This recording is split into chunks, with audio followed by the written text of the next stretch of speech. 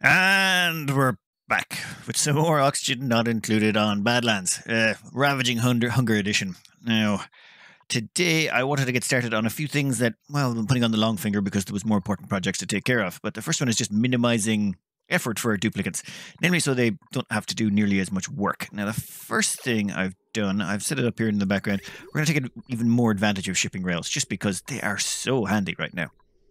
Uh, shipping rails down here are bringing wood. This wood comes all the way down here, and we send it over to our, uh, our ethanol distilleries.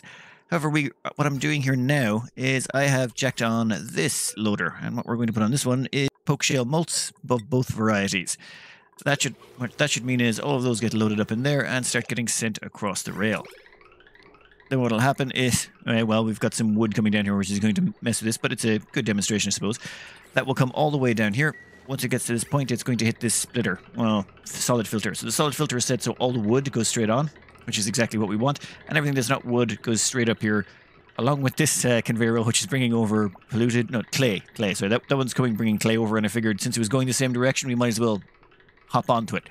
That's the, the joy of these splitters now, is you can sort of have a main bus where everything goes along. Oh, and you know what? Here comes that poke, shell molt now. Uh, I wonder, did that cool down the area or not? You know what? I don't think it matters. What's that up to? 54 degrees. Never mind. That will uh, that area will get much cooler as that wood passes through. But once it hits there, it gets filtered and sent right up.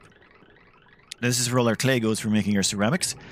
But at the same time, it's now going to hold poke shell molts. And if we turn this on, poke shell molt here, and doing that one there. Boom, what should happen is the moment the poke shell molts show up, they'll get dumped into that. Or are they just going to stay in there? Yeah, oh my god, they're just going to stay in there. I really need to put down a container for this, don't I? You know what? Now that now that we've got through the backlog, it's fine. We're going through the poke shells. We were able to smash up the poke shells faster than they're able to come in. Yeah, I'm gonna not put in a storage container and hope that doesn't come back to bite me. But this was going to generate us an awful, awful, awful lot of lime. Now, there's a few questions about the poke shells that we dump in here. Will their shells absorb a bunch of heat? Yes, they will. However, if we check on poke shell molts down here, we've got 12 of them. Oh my god. They weigh about 10 kilos. And if we check our steel production here, steel requires 10 kilos of lime. So the 10 kilos of shell molt turns into 10 kilos of lime. We get to run one batch of steel, which generates so much heat. It's, well, what's the heat like over here? The, the petroleum there is coming out at 259 degrees. Yeah, it, it's really toasty. We're going to generate so much heat, it won't really make a difference. And, oh, yeah, I made a mistake there, and I made that out of iron ore. I was trying to clean up this polluted water that was uh, up here from a, a previous mistake. But anyway, let's uh, forget about that. That's just one section of using those uh, conveyor rails to cut down on transport for our dupes. They no longer have to pull all the poke shell molts from there and carry them all the way over. And there's there's just so many of them. Our steel is rocketing up no matter how quickly I spend all the stuff. Yes, I keep finding ways to spend more and more steel, even though I'm trying to save up for space. Anyway, next up, we've got our calories. Our calories are going up for the first time in a while. Our barbecue has is now rising up everyone's living on barbecue, but even with all of the hatches we had over here, like all of these hatch farms, we're not providing enough barbecue to keep them, well, to really raise our calories substantially. But the Slickster farms have now started, Slickster ranches have now started to kick in, and the amount of meat we're getting out of this is increasing our barbecue. However, all of the eggs get uh, evolved over here, so we need to move all the meat from here all the way over to our kitchen area automatically just to cut down on duplicant labor. Otherwise, every single slickster that evolves in there, it's got to be carried over manually, which just takes so... It's just a bunch of effort we don't need to be wasting considering how low on duplicants we are. So, a very simple and straightforward system. This auto sweeper here picks it up, dumps it into this conveyor loader, and that will go all the way across here up here and across and get dumped off right beside our cooking area. Am I going to need to start making a second electric grill? I really hope I don't have to. I may need to, though. I think, yeah, once you get up to a certain point, you're going to need a, a second one. But that person, Glenn there, their cuisine is up to, their skill level is maxed out in cuisine. They are a super cook. Uh, another thing we can do is we also generate meat in here, so it might be an idea to start whisking the meat out of here with some auto sweepers also. Ooh, that's going to be a little bit trickier though. There's a much larger area to cover in here, but I think we can do it. All we need to do is Actually, all of the eggs in here get whisked out by these two, so we could just put in a, some sort of splitter on this and, you know, have the meat split off. Same thing over here. We could have some... Hmm. Actually, give me one second. This is starting to get more complicated as I plug more and more things in. But the simple system is this. This normally carries just eggs and dumps them over here. Now we've set it up to carry not just the eggs, but also any meat. So when any of these die, the meat they drop will automatically get dumped over here. Also, any eggshells that get dropped in here will also get dumped over here because I've been forgetting about the eggshells. Right, so we'll end up with all of the meat and eggs and eggshells all over here. And then once any meat, eggs, or meat or eggshells show up in here, they'll all get dumped into this conveyor loader and sent down here. And this return line here is where the meat goes. So we'll filter these and all the meat will get sent over to our uh, cooking area to get barbecued. And everything that's not meat, which should be only eggshells, will just dump straight onto that line. That is the line that leads over here to our poke shell molts. So we're going to make this eggshell slime as well. I know that's uh, yeah that's confusing me, and I built it. So hmm, yeah, there's just too many wires now. Everything is looking crazy. But that reminded me that yes, I need to take care of the eggshells as well because eggs, eggshells are smashable up for lime. So we need to take the eggshells out of here as well.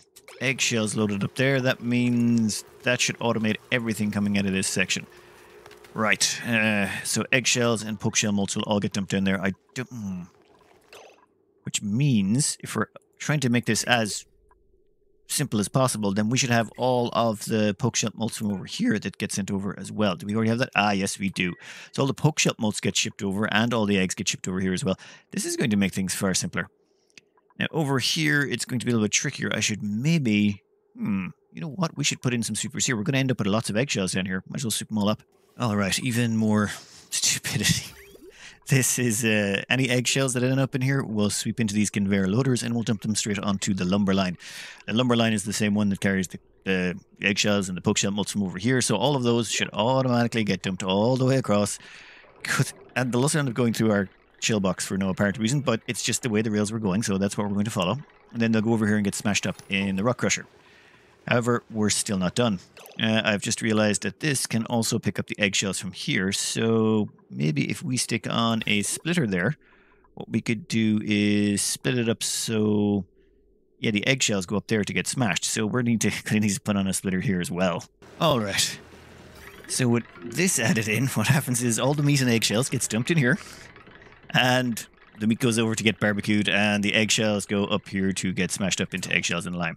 Now I haven't, uh, I've disabled the eggshells for the moment just so we could also enable these. What I want is when these slicksters die, they're going to drop meat. Um, so yeah, let's make sure all of that meat gets uh, sent across. Is it already set up? Oh, there we go. Already set up. It's like I was thinking about this in advance. All right, that's all of the slicksters dealt with. That's all of the the Dreckos dealt with. That's all of the poke shells dealt with, all of their eggs and lime and everything.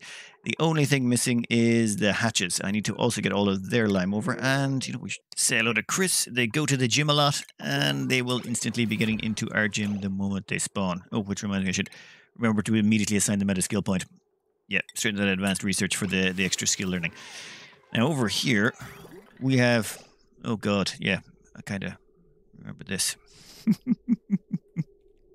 I may need to make a few changes here to make this more comprehensible. You know, this isn't that bad. This isn't, this isn't that bad at all. All the uh, all the hatches here, all the eggshells, meat, uh, eggs, eggs, eggshells, and meat all get dumped across this rail. Goes straight down here and gets into this evolution chamber. Then what we'll have is any of the meat and eggs. They get sent across here, and they get sent up here where they get split off. The meat goes up to get cooked, and the eggshells go over here where they used to get smashed. We'll have to set that though to be sent all the way over here which is actually surprisingly simple to do uh, because we have all we have to do is plug it into the wood line. So it just goes straight across here. Uh, we hop it over and that should take it straight onto the lumber line and the lumber line is of course filtered and all of the eggshells, poke shell molts, all that stuff will all end up going up here to get smashed up. And we'll just make sure, yeah, I'll put the eggshells to line one back on there. And that should get rid of all of that. That was actually surprisingly easy. At the same time, if you'll notice over here, there's uh, this little section where this is where our shovels and stuff like that, so any meat or eggshells from them will also get combined in. Uh, in fact, let's have a quick glance here as this one cooks off. We'll have uh, we'll soon be able to see that meat in action. All right, here we go. Meat goes straight up there, gets filtered out. Wait, that's not meat. That's eggshells. The meat was just behind it. Okay, so the meat goes up there. Oh, and I need to get rid of that. That's going to drop the eggshells down there. Oops. Well, yeah, once that's gone, the eggshell should continue straight along there, go all the way along this rail, and get sent across our... I don't even know what to call this. Counterflow lumber exchanger? Counterflow ethanol lumber exchanger? I haven't a clue. And then the rest of it all get dumped over here, and hopefully that should bring us in lots of steel. In fact, since we've started this episode, I think we've gone up about three tons of steel, which I think is pretty good, considering most of the stuff here I've been making out of... Oh, that's made out of iron ore. That's bad. I should be making all of these out of steel, these uh, filters. Eh, you know what? Never mind. We'll leave it. We'll leave it as it is for now. I think that all worked out, and we've automated quite a substantial chunk of the base. I think uh, for the next step, though, I do need to get my hands on some more iron ore. Uh, the reason being, I'm running out of metal ores. Iron ore, I've got 54 tons of it left. I'd like to grab some more, and at the same time, get rid of these annoying overheat damages. They are driving me mental. It's always up there in the top left. Just oh, insufficient oxygen generation. No, no, no, no, no. Where do we put the oxygen generation unit? Uh, over here? Yeah. Has that stopped for some reason? Nope, nope. We're golden. And that's just the game playing silly buggers. In that case, uh, down here, I want to demolish this entire biome. This entire biome has to go. This should only take a quick minute. Done, done, and done some more. With all of that finished, that takes care of, well, how much how much iron ore do we get out of that? Yeah, we got about 30 tons or so. That should, well, that should tide us over for quite a bit. Uh, I'm going to see if I can't mop up some of this water and get it out of here. It's been annoying me, just, it constantly keeps flashing to steam and bouncing a little bit, and it just looks nasty. If we can get rid of some of that, that would be great. If we can't, not going to cry over it. Uh, uh, steel wise, what are we looking like? 34 tons, 34 tons of steel. While all of that was going on, though, I did realize there was a couple of things I had missed. The first one was the eggshells coming out of this are not automated yet. This, though, should only take two seconds. Done. All the eggshells that end up down here, straight onto that, and sent across the rail. They'll go up, get filtered, sorted out, and sent over. You know what? Let's just have a quick trace of this one. I want to make sure there's no kinks or anything I didn't anticipate. Okay, that's fine. They all go along there. All go along here. Then they should eventually get to here and come down and zigzag across. Yeah, we know it works from there on out. Then over here, well, I forgot about this one too. We have so many incubators running. I also have to do this one as well. Uh, this one here, simple enough. All we do is, you know what? Uh, we can just stick that one on the same line as everything else that's going through here. What will happen is all the eggshells that drop there will get dropped into this conveyor loader, which just so happens is conveniently built upon the clay line. The clay line that runs all the way over to here. So, yeah, it, it exact same thing. All we had to do was just place it there and we were done. Very quick, simple, and efficient way of fixing that one. Uh, next up, oh, I do have to make the selections though. But that's sorted. All those eggs will and eggshells will end up over there. And finally, the amount of labor you can save your dupes if you just put in just a little bit more time and effort. Uh, oh, damn it. There's an automation wire there.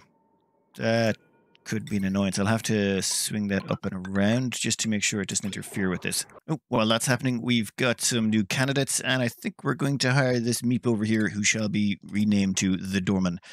Uh, they've got well, the reason I want them is they've got a plus to science and digging, so we'll we'll just turn them into another digger. They'll be perfect. But first off, they can go uh, they can go hop around inside the gym for a bit. Uh, where was I? Quick, simple fix. All of the eggshells get dumped across here. They get sent over here, where they get swept up by this one. It's. I think I think now finally we can say that every single piece of eggshell and poke shell molts all the way across this entire base that's anyway involved with our production is swept up automatically. Now, there is a few things that are still manual. For example, uh, occasionally what's going to happen here is there'll be no space in the ranches for these uh, poke shells when they pop out. At which point they will just happily run along in here until they turn into adults. The moment they become adults, this will auto wrangle them. And once they're auto wrangled, they'll end up uh, getting dropped off in here. This critter drop off has a little bit of petroleum in it. It's rather warm in here. The evolutionary pressure on them will cause them to evolve quite quickly, at which point the pokeshell molts can get thrown into the rock crusher because it's right beside there. It's just a nice quick way of getting rid of them. I think I think we're going to be good from for steel from here on out. Uh, if we just check the footage here, 12 cycles ago when we started this video, we had 26 tons of steel. We now have 36 tons of steel. I think our steel production is is really about to kick into high gear. Oh, there's some iron ore. We could use that later. Uh, we'll just maybe collect those. There's always these little presents the game keeps leaving around, lying around for you. Okay, with all of that automation taken care of, with the new source of food we've got from here, we should be able to hire more dupes, and we can start going looking towards space. Though, if we're going to be doing space, I would like to improve our transport network. What is the temperature like up here? Ooh, yeah, I think we can start switching out all these ladders for plastic. Uh, I don't like to risk it too early on. I like to make sure that we've got a nice stable base because once you, if you know, if anything goes above 100, deg- 140 or so, you end up frying all your ladders. I think we won't plastic ladder down here though. We'll just plastic ladder from about here up. Right, that will speed up the transport. Well, that will speed up the movement of our uh, dupes by quite a bit. At the same time, though, if we are, going to crack into space, I would rather have a faster method of getting up there. I think what we're going to do is start breaking into transport networks. Oh, second before we do that, I'm going to get rid of these bricks. Uh, they were here when I was trying to figure out how to make that sort of uh, abominations. Oh, cancel all of that. I just did an all delete. That's one thing that annoys me. This keeps resetting to all. The deconstruct that. I think there's a mod for it though. Uh, yeah, that's if I had just let that go through, I would have deleted all the rails, the wiring, everything that was going through there. Um, yes, yes, that was it. We want to get a transport network in. And I think we just need a small one to start. We don't have really, considering the amount of incubators we're running, I'm surprised our power grid hasn't fallen over. I really am. We are running, uh, what is it? We've got 4, 8, 12. We've got 16 incubators over there. We've got another three incubators down here. Uh, so, yeah, 16, 17, 18, 19, 20, 21, 22, 23. We're running 23 incubators. On the bright side, all our ranchers are going to get lots of experience hugging eggs. I mean, it's not like the animation takes very long, but you know, when it's 20 plus incubators, it's got to help out, right? Now that most of the plastic ladder is complete, let's get our transport grid going. Transit tube access will speed things along quite a bit. You know what? Let's stick a second one right there. Yes, I know there's no tiles or that, but that could be fixed, and we'll just delete these ones above it. We can probably stack a third one on top of that as well if we want, though I think we'll just start with two and see how it goes. Yeah, I, I may have made the roof, roof just a little bit too close to that one, so a few minor modifications. I also switched them to making them out of gold just in case they tried to overheat. And we now have a the start of our transport grid. This is just going to go straight up here. And once we get rid of that ethanol there and it's no longer, you know what? We can do a little bit of minor modifications here to push that ethanol out of the way and continue this up straight straight away now. All right, that will get our entire crew topside. Well, so long as they're on shifts, they'll uh, get up. Oh, that should remind me actually scheduling. All my new people have going straight into schedule one. I should really move them around. Yeah, I've had two people per shift, so I'm going to start having to put three people per shift, I think. Oh, I'll sort that out in a minute off screen. But uh, for the time being, that is our little tiny transport network. We're not using, we're not even going down to the bottom of the map with that. We're just using it to go up because going down is easy with um, fire poles. It's only going up that's slower, even with the plastic ladder. So this should allow our people to get up to space faster. So when we do start getting in, tucking into space in the next five minutes or so, we should be able to get up there without too much problems. And why is that taking so long? Insufficient power. Why is that saying insufficient power? You plugged into the main grid. Main grid has sufficient power. What is going on with you? Deleted it, rebuilt it, all good again. Perfect. And during that entire thing, we've gone up to 40 tons of steel. oh my god. Uh, we have, how much iron do we have? We have 387 tons of iron. So if I want 500 tons of steel, I'm going to have to start mining out some more of those uh, those iron veins that are around the place. But I think first up, we're going to start demolishing the entire space biome. I want everything left to right gone, so we know how far, how much, how much space in space we have to work with. At the same time, we can demolish all of this from the outside because it'll be in the vacuum of space. That would be so nice. Ah, the wonderful joys of working in a vacuum. The volcano is the super hot minerals around here are absolutely no threat to us. They can wander across all of this super hot material without any problems. Does it matter to me? Well, okay, does it matter to physics? Who cares? So long as it works for us. Uh, I should set up my sweeping as well. What I'm going to want to do is sweep all of this hot rocks into our industrial sauna. I mean, we don't really need, well, do we need the power? No, batteries are still good, so we may not need the power, but at least it's something we should do. Oh, and uh, one last piece of automation I put in on the side to save us a bit of power was these gas pumps and these uh, carbon skimmers. The carbon skimmers come on when we there's too much carbon dioxide in here. However, if the carbon skimmers can't keep up, what happens is this uh, countdown timer starts. So this uh, countdown timer will start to count for about 100 seconds, and if the carbon skimmers have not managed to take care of all the carbon dioxide that's causing the problem, those gas pumps will kick in and start pumping the gas out of there. They should be needed less and less though as more and more slicksters become available. The slicksters combined with the uh, the carbon skimmer should take care of everything. Right now we're looking at how many slicksters we got. We're still one short there, seven short there, uh, full, full, uh, oh, full, and eight short there. But once all of those are full, yeah, we shouldn't have to work. We shouldn't have to need those gas pumps anymore. Uh, damn it! I meant to do something else tonight. Yeah, I needed to change the priority down there. Excavated, swept, now it's time to just make a magma tank here. I don't know if I'm going to activate that volcano just yet. I, I realized I was leaving that around to make a, a regolith melter, but then I realized I put this giant tank of water in the way. I'm, I'll have to revisit that at a later date. For now, the plan is, well, we're going to go up into space and we're going to wall it off. Uh, here, I think we're going to put our ladder system, say, right here. Yeah, why not? Uh, though we might want to make it out of something that's more common up here, like, say, mafic rock, just to make it easier to replace. And we'll just go straight up to the top of the map, and we'll see what's up there. I do have the Falling Sands mod installed, so the moment we break that open and all that regolith falls, we should instantly start digging it out. As well as that, we got a little bit of space here we can dump it into. Right, but uh, let's see how high up into space we can go, and I think I'm going to not uh, not wall up as tight against the top of the map as before. We want to capture some more regolith than normal. Since we're trying to capture more regolith than normal, I'm not going to wall up tight against the edge of the map. Normally you'd wall up right up, right up here so that nothing else could fall in. Instead, what we're going to do is give ourselves one, two, three, we're going to give ourselves four tiles of empty space here, and then there's two tiles above that, meaning we'll have six tiles where regolith can start to accumulate. Now, I am going to put bunker doors all across the top like that. Oh, you know what? Let's have a quick check on a steel count before we start. And uh, another thing, to figure out exactly where to place these, I sort of just ran bunker tile, bunker doors all the way from the edge of the map, so I knew exactly where to place my bunker doors so that everything would line up perfectly. So we just cancel that there now, and oh, we can cancel that one too. They were just uh, for spacing them out. We have 47 tons of steel. That that seems like a decent amount of steel. Now, let's just wall off the top of the map and get space finally sorted out. It took us long enough to get here, but now that we've got all this steel pouring in, we should be able to smash through it in no time when you're doing this, do yourself a bit of a favor. There's just the huge travel distance required. I like to put a, a storage bin of mafic rock, and I'm going to put a storage bin of steel up here. I set them to really high priority until they're full, and then once they're full, I put them back down to normal. There's no point keeping this on 9 the whole time, but at least 9 until it's stocked up. That way, my dupes only have to run a short distance to get their ladder segments and all that. It just speed things up so much. Otherwise, you'll be here for, well, you'll be here for a long time waiting for this to complete otherwise. Well, we've got a few meteor strikes to be inbound, but uh, they did bugger all to this. Bunker doors do their job exactly as intended. Uh, quick note, make sure that you set your bunker doors when you're building them to priority 6 and the ladders to priority 5. That way your dupes should build the bunker doors before they build the ladders. That just sort of keeps them safe and out of the way of meteor harm. Also stops you having to repair all the ladders all the time. Uh, just one of those nice little time-saving things.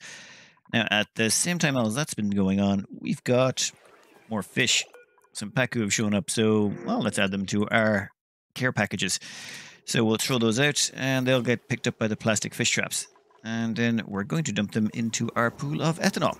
Uh, one of the th weird things about Pacu is they don't care what liquid you put them in, so long as the liquid just is inside their livable temperature range, they'll quite happily swim around in it.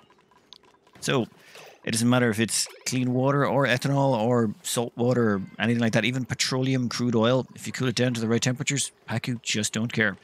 So we're going to dump them all in there and they'll have uh, pre-saturated... Wait, no. Marinate. That's it. We're going to marinate them in alcohol so that they're they're ethanol, so that they're much tastier when they eventually turn into meat. Um, there should be plenty of room in that ethanol tank for them. Yeah, we'll even be adding in more. There you go. You going to drop? They do like to ignore gravity. come on. Come on, you can do it. No, no, you're just going to fly.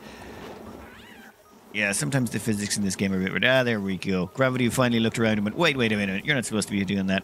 Well, they seem quite happy. Yeah, they're wild happy and they're hungry and they're hanging around in a pool of ethanol. They shall be perfectly fine. So that's five traps we've got up there. So six, seven, eight. That should take care of the rest of them. Hey, let's get back up to space and get this finished. We're almost there. Just a little bit more on each side and we'll be done with this one. All done. We have space sealed off. As such, we can now do whatever we want with the space. With the space in space, we can do what we'd like. I think it's time to get some glass going on. We're probably going to throw down uh, at least some solar. Oh, and I want to do that uh, that trick I saw in one of the base living videos where someone put six, uh, what was it, six space scanners all under one underneath the other, just to scan space to get that perfect coverage. I mean, we won't quite start out that way, but I'm thinking right about here is a good place to put it in. We've got plenty of uh, a big, huge gap between uh, this side here and the bottom of, well, where we're going to be putting placing it in. But before we do that, we're going to need some glass. So it's time to throw glass into this somewhere.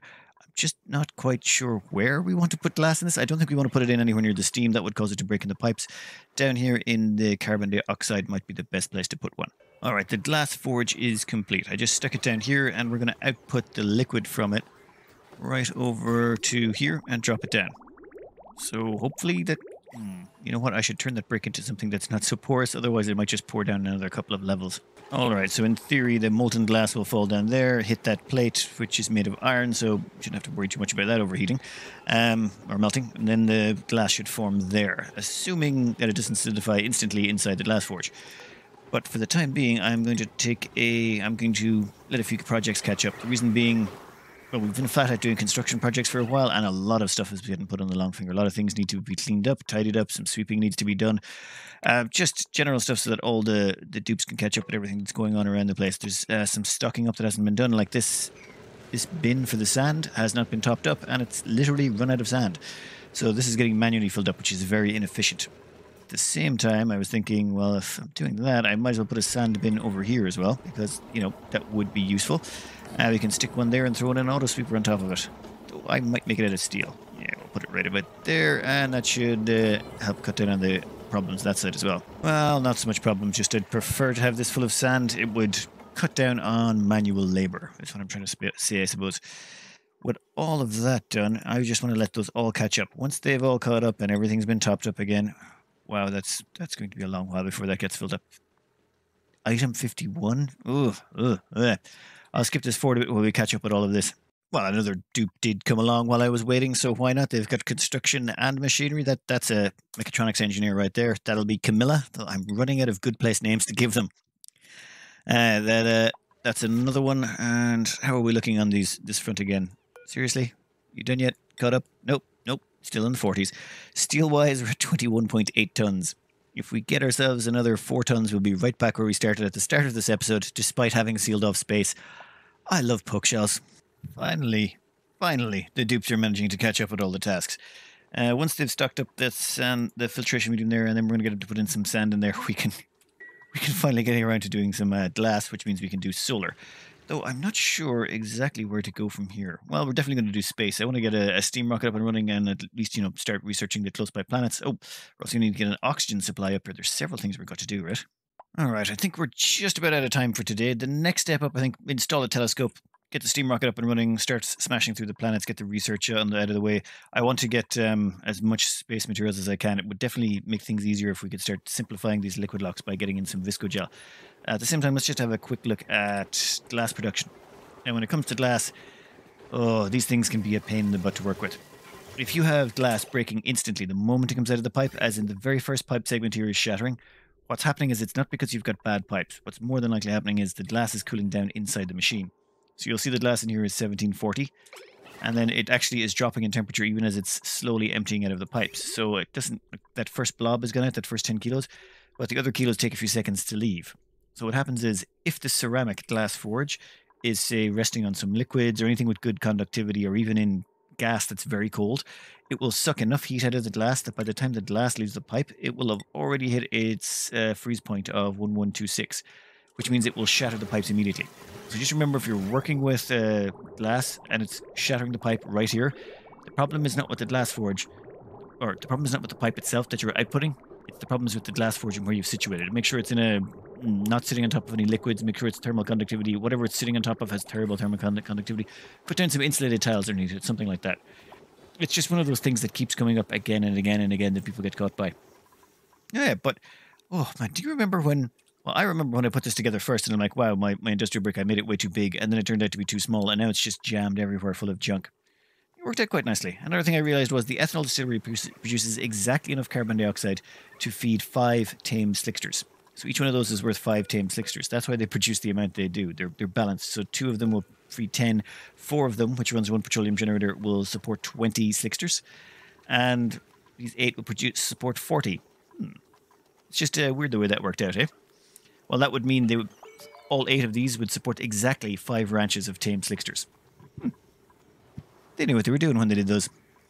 Uh, uh, well, all of that is done, though we still have one major problem. And uh, that major problem is I don't have enough ranchers. I have way, way, way too many critters. So many of these are glum because they're not getting groomed. It's not that people can't get in here. People can get in here. It's just there's there's no time. If we check the errands here, let's see errands. Yeah, it's number 18 on Brent's list. Okay, Brent, what, what's what's on your list for today? Let's see: ranch shearing station, ranch grooming station, ranch shearing station, ranch grooming station. Oh, and there's 18 more grooming stations that need their attention. That's that's just insane.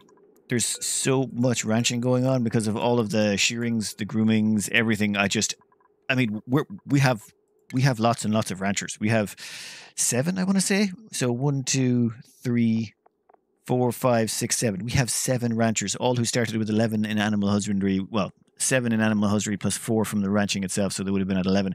And because they've been doing so much egg hugging, like Michael here has gained five points in uh, in husbandry. Tahini's gained Tahini uh, Tahani's gained four. Tahini Tahani, um, yeah, fourteen. So all of them have actually gained a point or two. Even Simone, who's one of the newest ones, has gained an extra point in animal husbandry just from hugging all the eggs. We still don't have enough ranchers. I'm going to need about another two ranchers just to take care of the critters we've currently got running before we could expand any further. And at the same time, steel production is absolutely amazing. Look at that. It's 32 tons of steel. We were down to 20 at one point, and we've produced 12 tons. There's just so much steel. It's, oh, we're going to, yeah, I, I don't even know. Yeah, we're going to do that's it, the regolith melter. That's why we needed so much steel. Also, I just wanted that much steel. Uh, yeah, I'll, I'll stop rambling and I'll cut this out here for today. I uh, hope you enjoyed and uh, good luck.